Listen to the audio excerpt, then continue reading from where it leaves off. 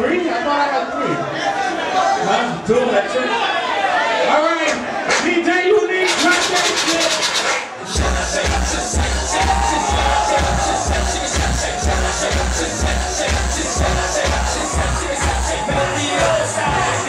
Hold on.